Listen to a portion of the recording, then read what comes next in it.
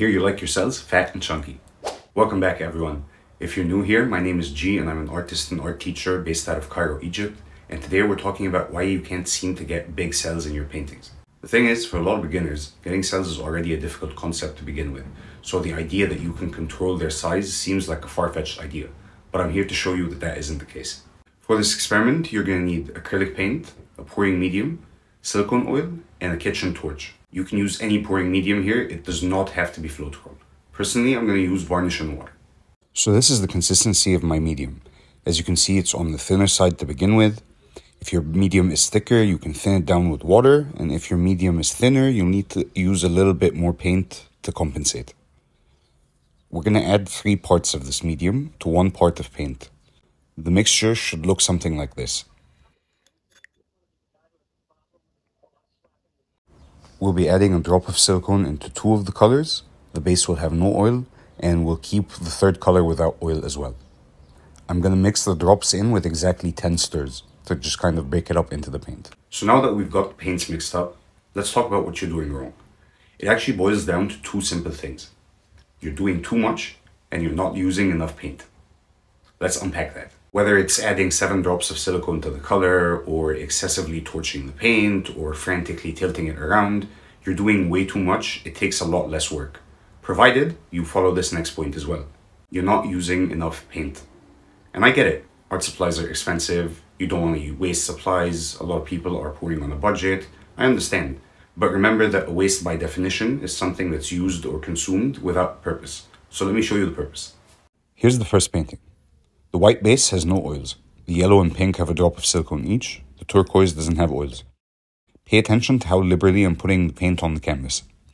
When you use the swipe technique, we're going to move the paint without oil over the paint that does have oil. And notice this very small tilt.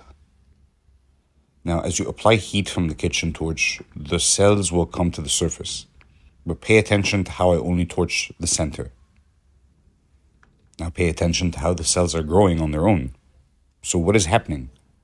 Well, when you make sure your sides and corners are evenly wet with paint, the paint in the center can freely slide outwards in all directions. You can continue to pick up paint that slides off and pour it just at the edge so it continues to pull on the paint in the center.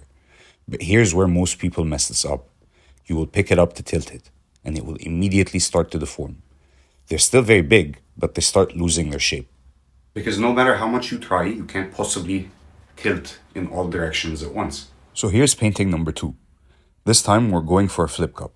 The paints are exactly the same as before. I'm going to layer these paints going no oil, oil, oil, no oil. I'm repeating this twice and then I'm doing a very standard flip cup.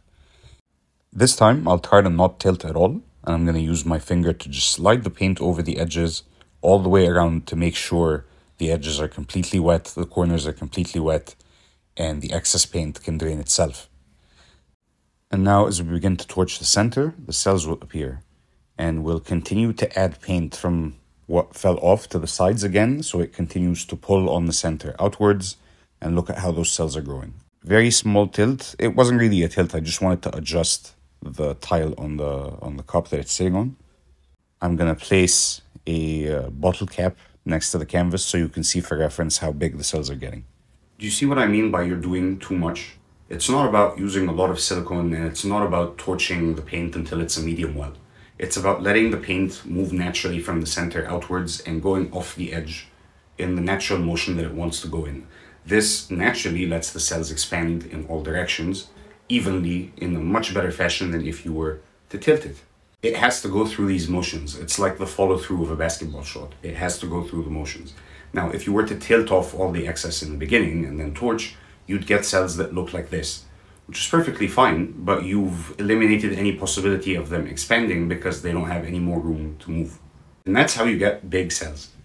Thank you for watching this video. If you want more information like this that's designed to help you make better paintings, check out my online course at geepours.com. You can also find the video where I explain everything that's in the course right here. See you guys soon.